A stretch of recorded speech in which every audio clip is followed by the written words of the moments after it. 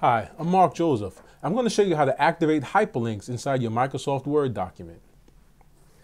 Now, in most cases, when you type a web address,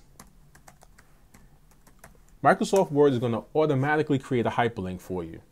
You'll notice that because the text will turn blue and it'll be underlined. And if you hover your cursor right over it, you'll get the instructions to hit Control and left click,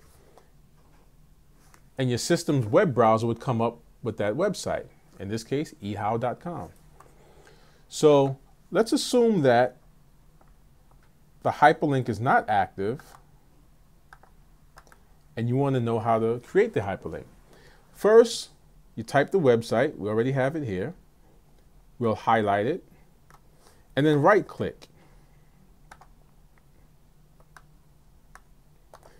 And you'll notice that towards the bottom of this list, there's a hyperlink button that you'll click. At the very bottom, we want to type in the full address, http colon backslash backslash www.ehow.com. You can see that part is pre-populated. Up here in the text display, we'll keep it as just www.ehow.com. So you click OK, and now you'll see that the link is actually active again. The font changed to blue. It's now underlined. And again, if you hover your cursor just above it, you get the control click instructions and it takes you back to ehow.com.